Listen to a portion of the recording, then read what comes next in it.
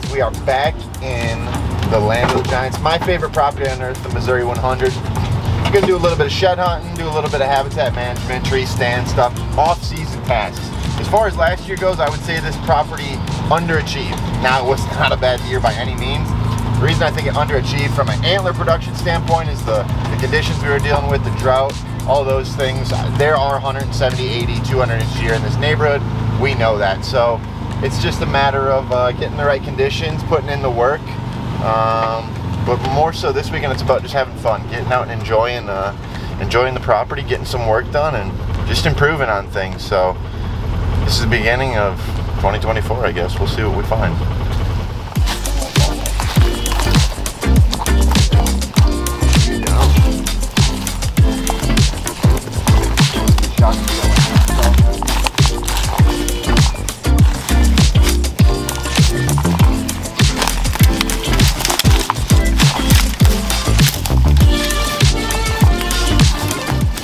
Right, guys, so thankfully I got Nick along with me and, and sometimes it's, it's, even myself, it's good to get a second pair of eyes on a property.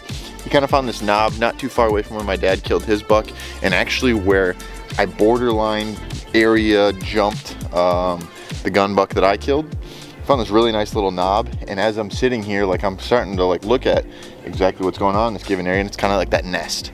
It's that nest that a lot of time I talk I talk about with clients about creating. Sometimes we do it through a little bit of hinging I don't love hinge cuts don't get carried away with them but um, there's like this nest. There's, there's there's just like all this brush and these, these down timber kind of in a circle half moonish um, creating this nest and sure enough there's beds here so it's kind of putting the puzzle pieces together now in future years. This is an area we're to keep an eye on for future bucks so kind of kind of pumps me up one thing I hear a lot of people say when it comes to buck bedding is, oh, I found his bed, I found him. Guys, these deer use a lot of different beds, and I think we just found another possible bed, kind of on this little rock outcropping. All of a sudden it drops down and it, it's like a mattress-sized flat. Um, even a little tree if you wanted to lean up against, and the way I look at it, like, if we had some sort of northerly wind, he could smell everything behind him. And one of our access trails is right up there. So how many deer are bedding in these spots? Once again, you know, busting us. But also, once again, I look around at this tim down timber from, from our timber cut, and it kind of created a natural nest. Well, guess where the bed is. So sometimes you find these natural ones, sometimes you create them through through down trees or maybe a little hinging. Don't get carried away with the hinging, but this is one of those spots that we're gonna mark on the map and uh, you never know what comes out of here. Maybe a big old buck.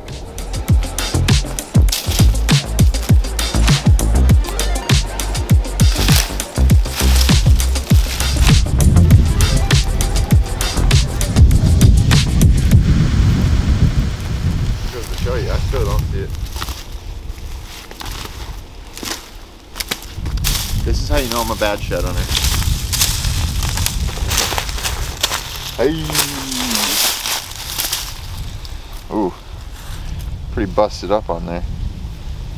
A lot of bucks of this caliber, a lot of lot of up and coming young bucks on this property. So we're on the board. It's actually the third one we found today. We found a couple in the field. Sorry, mom. We already found those sheds. We didn't tell her she's gonna find out when she watches this video. And I think we're even gonna place this one so she can find it too mark it on a waypoint so we make sure we pick it up today. But got my mom and dad out here. Uh, cameraman Josh is showing up later today. So it's a good day in the woods, beautiful day. Wish the conditions were a little bit better, a little more gloomy, but I'm not, I'm not complaining with a sunny day in uh, late February. So we got one. Well, we found another good sized tree with just some brow tine marks in it and a good historical robin, of course, underneath it, you know, a nice little bed. So it's just another one of those nests that has I don't want to call it naturally taking place because we did some logging in here, but the tops fell where the tops fell. And, you know, a lot of guys get worked up about the way this stuff looks after doing a timber cut. It created natural nests and we found at least four different good buck beds, buck bedding areas along this ridge system. So I'm not mad about it. I mean, it doesn't look pretty, but guys, good deer habitat does not. And sometimes we get a little bit worried about it looking pretty versus it being good, good habitat. So Clearly the cut by itself without doing anything overly strategic has worked. Probably a six-year-old, been passing for a while. Um, you know, probably gonna pass him like six more years. Freshie. Another one in the books.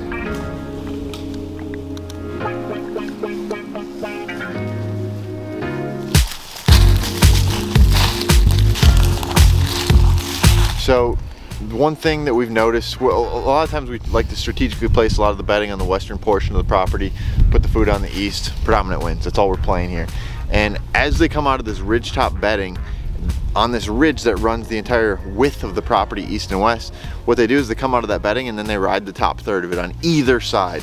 And one of those sets, I'd say about 150 yards out of the bedding area is where I killed within two, within three days of hunting in a row, um, had, had killed two bucks. I missed a buck there a day prior.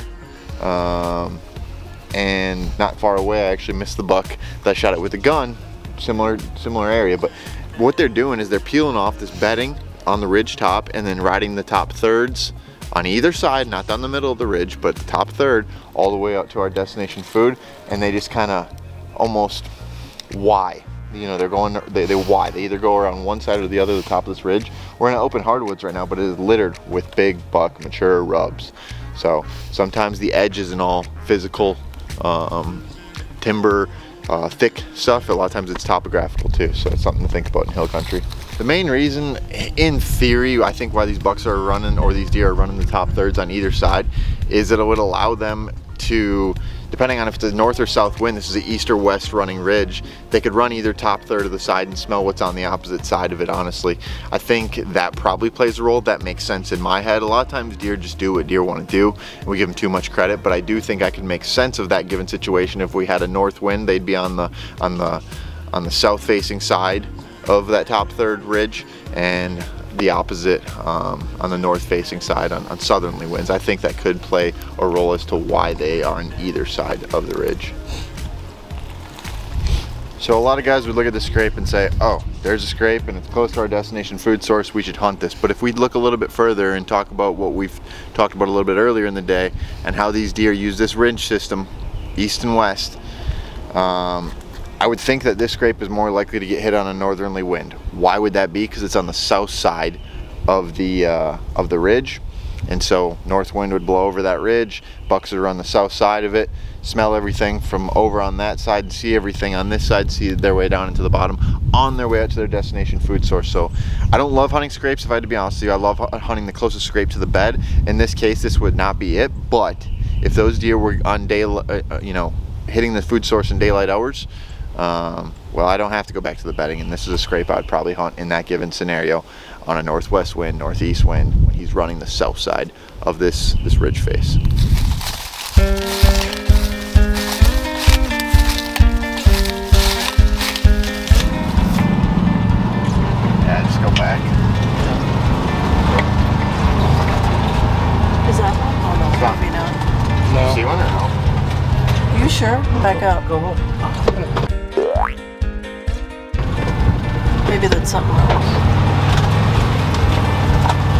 No. It was a corn stalk. Oh yeah. Curl. Kind of looked like one. Yeah. Oh. How obvious. Well, we Was never that- went on this angle sheet. No. Was that a setup? Oh, I don't know. Was that the other one? Yeah. I saw that within about five minutes driving over here this morning. Did you It really? was sticking up, times up. I figured when you said you found one, I was like, oh shit, that's the one she found. Oh. You found the harder of the two. That might be the match to the other one. I don't know. That looks, that's bigger. Yeah, that's a bigger rat horn. Oh, a lot bigger. It's a lot thicker. Yeah. Nice. That's the thing. We only found one side to all these. The other one's got to be out about someplace. Yeah, I was just there. As much as I drove here, I'd never seen it. So the morning was good-ish. Not great. There's that big one out there we just can't seem to find. We've only covered about half the farm. We picked up about five. A lot of a lot of dinker eight pointers. That's what this farm's got right now. The genetics in general end up being eight pointers. Um, but no, we found a, a handful. So now we're gonna go hit the north side of my farm and then go hit a neighboring farm, which we've seen some footage of in the past, and it is the best farm I've ever seen in my life.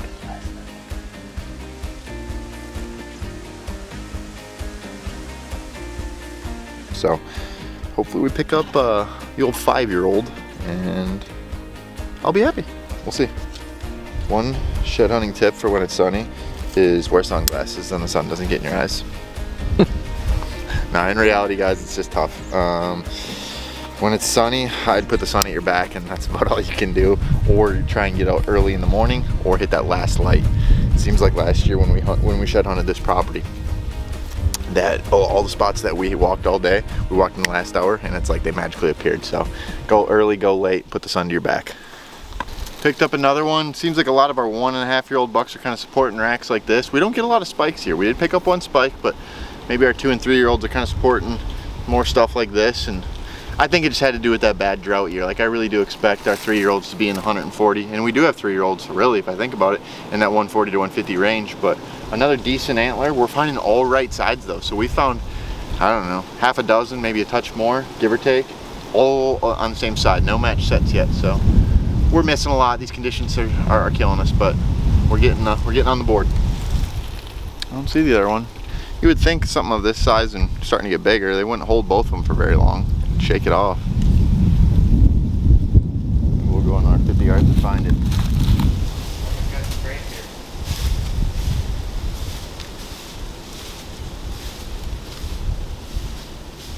Place. Well, I'm pretty sure we just found our target buck up the tree.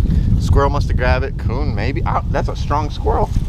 I don't know. Kind of flabbergasted. Found two decent ones. I'm 90% sure. I got my parents rolling up the road right here. We're gonna wait. Tell them to look in the tree. Holy smokes. That almost looks staged. I've never seen them up that high. Squirrel must have grabbed it. Big old squirrel.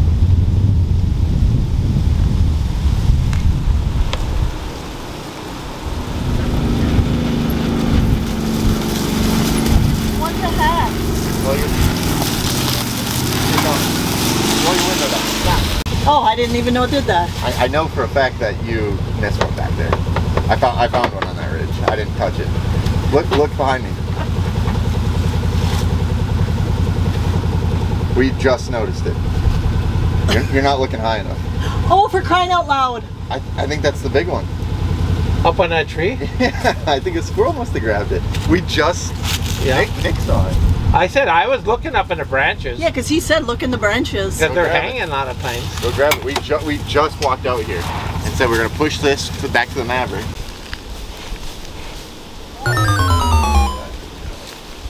Well, guys, that'll wrap up shed day. If I had to be honest with you, I'm not a huge shed hunter. Um, and on top of that, our conditions weren't great. So a lot of times I end up looking for sign, and I know I walked right by a lot of a, a lot of uh, a lot of sheds. Pretty much, I don't think we found a match set today. So that just goes to show what's still out there on this property. Did not find my big five and a half year old. I know he's out there someplace. I'm pretty sure he ended up um, dropping in late January. So um, it was a good day overall. Uh, a lot of up and comers, a lot of up and comers, for next year, and just uh, just you know a lot of those good bucks that make a property fun to hunt. So that's gonna put a wrap on shed day. Tomorrow we get to work.